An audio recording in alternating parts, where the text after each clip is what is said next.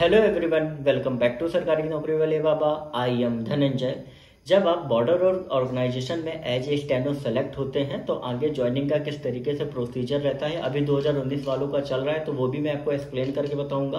बाकी किस तरीके से प्रमोशन और ट्रेनिंग वगैरह रहती है, वो भी एक एक वीडियो के माध्यम से मैं आपको इस चैनल पर क्लियर करूँगा। तो चैनल को सब्सक्राइब ज़रूर करें। जितने भी उन्नीस वाले, बीस वाले और इक्कीस वाले स्टूडेंट जो तैयारी कर रहे हैं, जो फाइनल सेलेक्ट होंगे, क्योंकि इसकी वैकेंसी लगभग लगभग चौबीस सौ ग्रेड पे में आपकी हर साल आती है।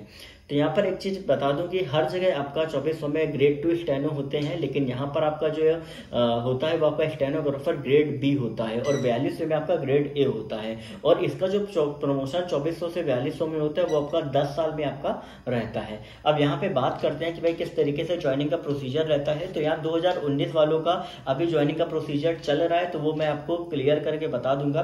तो अभी हुआ क्या है कि 2019 के सिलेक्टेड कैंडिडेट्स की एक लिस्ट आई है नोटिस के साथ, और उस नोटिस में बॉर्डर रोड ऑर्गेनाइजेशन की तरफ़ से लिखा हुआ है कि आपको पुणे में एक सेंटर है, G R E S centre ठीक है डीजी कैंप में वहाँ पर आपको रिपोर्ट करना है और वहाँ पर आपको कुछ डॉक्यूमेंट्स जो है वो आपको लाने हैं।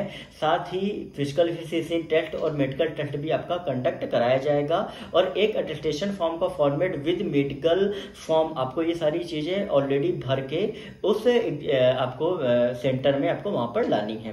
तो ये जो नोटिस है वो मैं आपको दिखा दे रहा हूँ कि इस नोटिस में क्या क्या चीज़ें आपकी मांगी गई है। सबसे पहली चीज़ आपका अटेस्टेशन फॉर्म यहाँ पे आपको दिया हुआ है, उस अटेस्टेशन फॉर्म को पूरा फिल करके और उसमें आपका जो पेज नंबर वन है, उसको एक ऑफिसर से अटेस्ट कराना है, उसकी पाँच अटेस्टेशन की कॉपी जो है, वो आपका, आपके पास होनी चाहिए। ठीक है, इसके बाद आपको क्या क्या डॉक्यूमेंट लाने हैं तो यहाँ पर आपको प्रूफ ऑफ़ रेसिडेंस लाना है मतलब डोमिसाइल आपको लाना है, दूसरा आपका एजुकेशनल क्वालिफिकेशन जैसे ट्वेल्थ स्टेनो में रहता है तो ट्वेल्थ की मार्कशीट सर्टिफिकेट टेंथ की मार्कशीट सर्टिफिकेट आपको ये चीज़ें लानी है। तीसरा आपका कास्ट सर्टिफिकेट अगर आप बिलोंग करते हैं OBC S C S T EW S से। चौथा आपका प्रूफ ऑफ़ मैरिज अगर आपकी शादी हो गई है तो उसका सर्टिफिकेट आपको लाना है, नहीं तो फ़ोटो भी लाओगे तो भी चलेगा। फिर आपका पांचवा है कि आपका एज सिलेक्शन अगर आपने क्लेम किया है तो वो आपको सर्टिफिकेट जो है वो ओरिजिनल फॉर्मेट में लाना है। एक्स सर्विसमैन वाले एक्स सर्विसमैन का जो सर्टिफिकेट है, वो भी आपको ओरिजिनल में लाना है। फिर आपका एनओसी जो है, अगर आप कहीं पर जॉब कर रहे हैं तो वहाँ से आपको एनओसी उस टाइम पे डॉक्यूमेंट वेरिफिकेशन के टाइम पे आपको लानी है। फिर इसके बाद आपको 10 फोटोग्राफ आपकी रिसेंट की फोटोग्राफ आपके पास होनी चाहिए। तो इतने सारे डॉक्यूमेंट जो है, ये आपको ओरिजिनल में लाने हैं और इनकी दो दो फ़ोटो स्टेट जो है वो आपको करा के लानी है। हालाँकि अटेस्टेशन फॉर्म में जो आपका मेडिकल का प्रोफार्मा है, वो भी आपको साथ में कैरी करके लाना है, क्योंकि वहाँ पर कुछ टेस्ट आपके यहाँ पर लिखे हुए हैं, जैसे सीबीसी हो गया यूरिन आर एंड एम हो गया blood grouping and R S typing तो उन टेस्ट को करा के वहाँ पर उसका जो रिज़ल्ट है, वो भी आपको पीछे लाना है। और ये टेस्ट जो होने चाहिए, ये रिसेंट के ही होने चाहिए, ज़्यादा ओल्ड टेस्ट ये सारे नहीं होने चाहिए। अब जब वहाँ पर आप जाओगे तो आपका क्या क्या कंडक्ट होगा तो फ़िज़िकल इफिशियंसी टेस्ट आपका होता है, जिसमें आपको एक किलोमीटर, दस मिनट में आपको दौड़ना होता है। अगर आप ये इफिशियंसी टेस्ट फेल हो जाते हो तो आपका जो कैंडिडेचर है, वो कैंसिल कर दिया जाएगा, आपके डोजेस एस को वापस कर दिए जाएँगे। तो ध्यान से इस चीज़ को ध्यान में लें। ठीक है, दूसरी चीज़ आपका मेडिकल एग्जामिनेशन आपका होगा तो मेडिकल एग्जामिनेशन वहीं पर ही आपका कंडक्ट कराया जाएगा।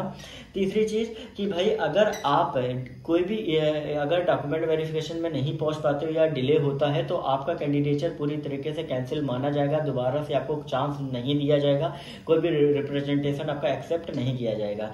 फिर आपका है कि जैसे ही आप इन सारे क्राइटेरिया को पार कर लोगे, उसके बाद डायरेक्ट आपको अपॉइंटमेंट के बाद तुरंत ट्रेनिंग के लिए आपको भेज दिया जाएगा। ठीक है, और ये ट्रेनिंग जो है वो आपकी उसी सेंटर पे, जहाँ पे आपका डॉक्यूमेंट वेरिफिकेशन है, उसी सेंटर पे ही आपकी कंडक्ट होगी और कितने दिन की होगी यह भी कुछ भी क्लियर नहीं है। ठीक है, इसके बाद फिर आपका क्या है कि मे भी हाँ इतनी चीज़ें जो है वो आपको बॉर्डर ऑर्गेनाइजेशन की ज्वाइनिंग में आपकी रहती हैं। अब यहाँ पे मैंने ऑलरेडी प्रमोशन का प्रोस्पेक्ट बता दिया कि स्टार्टिंग में आपका जो पहला प्रमोशन है बयालीस का, वो दस साल में होता है। इसके बाद जितने भी प्रमोशन आपके होते हैं, वो सारे आपके पाँच से छह साल में आपके होते रहते हैं। तो ओवरऑल देखा जाए तो इसकी पोस्टिंग जो है वो आपकी ऑल ओवर इंडिया रहती है। तो इस तरीके से ये जो जॉब है वो ट्रांसफरेबल जॉब है। हर तीन साल में आपके ट्रांसफ़र हुआ करते हैं। तो मे बी आई थिंक इतनी ही इन्फॉर्मेशन जो है वो मैंने अभी तक कलेक्ट की है। तो आप सभी चैनल को सब्सक्राइब करें। बाकी और भी कोई डाउट है कमेंट सेक्शन में लिख के पूछ सकते हैं। टेलीग्राम ग्रुप में ज्वाइन करके पूछ सकते हैं। लिंक आपको डिस्क्रिप्शन में दिया गया है। मिलते हैं आपको नेक्स्ट वीडियो में।